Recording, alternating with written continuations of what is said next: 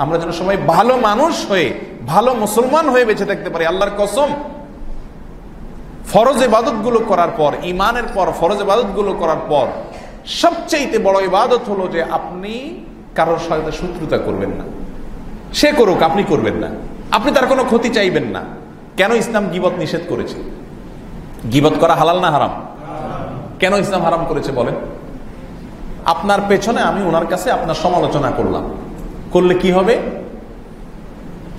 যে বিষয়ে সমালোচনা করতে সত্য। আপনি আসলেই চুরি করছেন, কিন্তু ওইটা আর কেউ জানে না। আমি এসে ওনারা শুনে দিলাম যে ওই লোকটা চুরি করছে।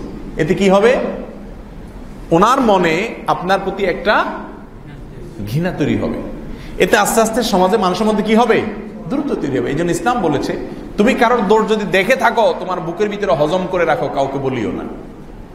মানসা তারা মুসলিমা, যে ব্যক্তি কোনো মুসলমানের দোষকে ঢেকে রাখবে, প্রকাশ করবে না আল্লাহর জন্য কেয়ামতের দিন আল্লাহ তালা তার হাজার হাজার দোষ মানুষের সামনে প্রকাশ করলে সে বেজ্জত হয়ে যাবে। আল্লাহ কাছে ডেকে এনে, রহমতের চাদরের ভিতরে এনে বলবেন, এই, অমুক কাজ করস নাই, অমুক কুকাম করস নাই, অমুকগুলা করস নাই, কেউ জানে না, আমি তো জানি। তোর আমল নামা লেখা আছে, বলবে, আল্লাহ, সব করছি, অস্বীকার করার উপায় নেই। আল্লাহ বলবেন, দুনিয়াতে তোর এগুলাকে আমি ঢেকে রাখছিলাম, আজকেও সেগুলোকে ঢাকে রাখলাম, সবগুলো ডিলিট করে দিলাম। এই পুরস্কার পাইতে হলে দুনিয়াতে মানুষের দোষ ঢাকার গুণ নিজের ভিতরে পয়দা করতে হবে। কোন মুসলমান ভাইয়ের আয়েব তালাশ করা যাবে না দোষ তালাশ করা যাবে না। চেষ্টা করা যাবে তো ইনশাল্লাহ একটা সুন্দর সমাজ গড়ার জন্য গোটা সমাজকে আপনি সংশোধন করতে পারবেন না। আপনি তওবা করেন আপনি কারোর পেছনে সমালোচনা করবেন না খোঁজাখুঁজি করে কারোর দোষ আবিষ্কার করবেন না কোনো প্রকার গ্রুপিং এ কাউকে শত্রু মনে করবেন না। সবাই আমার মুসলিম ভাই এই উদারতা নিয়ে চলবেন। তবে হ্যাঁ অনুসরণ করার ক্ষেত্রে অবশ্যই সত্য এবং সঠিকের উপরে থাকবেন, কোরআন এবং হাদিসের উপরে থাকবেন, সেটার উপরে প্রতিষ্ঠিত থেকে যারা বিপদগামী আছে, ভুল পথে আছে, তাদের জন্য দোয়া করবেন, আন্তরিকতা রাখবেন, দয়া মায়া রাখবেন, কাউকে প্রতিপক্ষ বা শত্রু বানাবেন না। লা তাহাসাদু ওয়ালা তাবাগাদু ওয়ালা তাদাবারু। ওয়াকুনু ইবাদাল্লাহ ইখওয়ানা। এ হাদিস আল্লাহর জমিনে সবচেয়ে অসহায় হয়ে গেছে। এ হাদিস আমল এটার দুনিয়া থেকে বিলুপ্ত হয়ে গেছে। মুসলমানরা আমরা মুখে আওড়াই কিন্তু আমল করি না। চেষ্টা করা যাবে কি ইনশাআল্লাহ। পরিবার, সমাজ, দেশ, গোটা পৃথিবী শান্তিতে পরিপূর্ণ হবে যদি হাদিসের উপর আমরা আমল করি। আল্লাহ তালা আমাদের অন্তর থেকে হিংসাগুলোকে ধুয়ে মুছে পরিষ্কার করে দিন জান্নাতে যাওয়ার আগে আল্লাহ রবুল আলমিন একটা একটা ক্লিনিং অপারেশন চালাবেন মানুষের উপরে। আল্লাহ রবুল আলমিন জান্নাতিদের অন্তর থেকে গিল গিল একে অন্যের বিরুদ্ধে যে শত্রুতা, হিংসা, এটা অন্তর থেকে একদম ধুয়ে মুছে পরিষ্কার করে দেবে। তারপরে সে জান্নাতে যাবে। আমরা যখন জন্মগ্রহণ করি, মায়ের পেট থেকে ভূমিষ্ঠ হয়ে আসি। কারোর প্রতি কোনো শত্রুতা থাকে? বিদ্বেষ থাকে? হিংসা থাকে? ছোট শিশুর কোন, নবজাতক শিশুর কোনো শত্রু থাকে? থাকে। আল্লাহ রবুল আলমিন বলেছেন তোমার বহু সন্তান আছে, একজন ম্যাজিস্ট্রেট, আরেকজন অমুক, আরেকজন তমুক, বহু সন্তান বহুত বড় বড় পদে আছে। অনেক সম্পদ দুনিয়াতে করছ। কিয়ামতের দিন এগুলোর কোনোটা কাজে আসবে না। ইল্লামান আতাল্লাহ সেলিম। কিন্তু যে ব্যক্তি আল্লাহর কাছে একটা মন নিয়ে যাবে, কি মন? যে মনটার ভিতরে কারোর প্রতি কোনো হিংসা নাই, বিদ্বেষ নাই, শত্রুতা নাই, কারোর প্রতি নাই, ফ্রেশ একটা মন নিয়ে যে আল্লাহর কাছে যেতে পারবে, এই মনটা তাকে আখেরাতে মুক্তি এনে দিবে আল্লাহর কাছে। ফ্রেশ মন। ছোটবেলায় যেরকম একটা ফ্রেশ মন নিয়ে দুনিয়া থেকে আসছেন, নবজাতক শিশু হয়ে, যাওয়ার সময় যদি এরকম একটা মন নিয়ে যেতে পারেন, কারোর প্রতি কোনো বিদ্বেষ না থাকে, আপনি জান্নাতি হবেন। এক ব্যক্তি হেঁটে যাচ্ছে রসুল করিম সাল্লাহ সাল্লাম বলেছেন, তোমরা জান্নাতি লোক দেখতে চাও? বলে হ্যাঁ ইয়া রসুল্লাহ দেখতে চাই। বলে যে, এই লোকটাকে দেখো। ওই যে যাচ্ছে মসজিদের সামনে দিয়ে, এই লোকটা জান্নাতি। রাসুল বলে দিচ্ছে এই লোকটা জান্নাতি।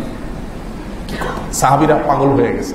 ওই লোকটা রহস্য আবিষ্কার করার জন্য কি করে এই লোক যে জান্নাতি রাসুল বলে দিছে?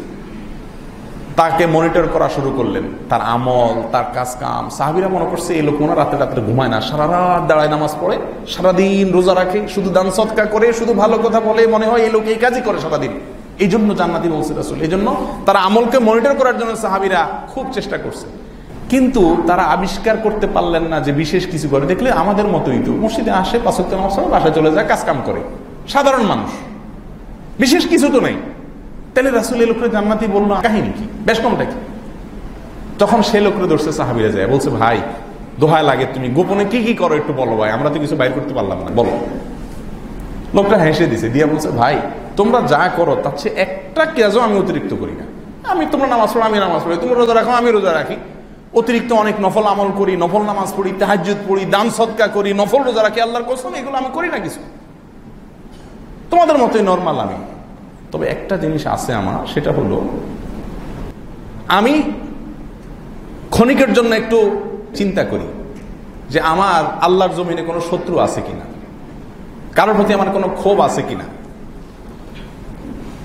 তো আমি চিন্তা করে দেখি যে না, আমার অন্তর সম্পূর্ণ ব্লান খালি। আমার শত্রুর তালিকা কোনো মানুষ নাই। আমি সবাইকে ক্ষমা করে দেই, সবাই প্রতি আন্তরিকতা রাখি, সবার কল্যাণ চাই, কারও ক্ষতি করতে চাই না। এই যে একটা পরিচ্ছন্ন অন্তর আছে আমার, এটা ছাড়া আমি আর বিশেষ কিছু দেখি না। তখন সাহাবিরা বুঝলেন, এটাই হলো সেই গোপন রহস্য যা একজন মানুষকে জান্নাতের সার্টিফিকেট দুনিয়াতে আনাই দিস আর আমরা লম্বা জুব্বা, দাড়ি, টুপি, পাগড়ি ইয়া বড় হুজুর, সবই ঠিক আছে। কিন্তু গিবত শেখায়ত শত্রুতা, বিদ্বেষ, হিংসা, পারিবারিক, সামাজিক, রাষ্ট্রীয়, দলীয়, ইসলামের নামে বিভিন্ন ভাবে আমরা করতেছি কি করতেছি না?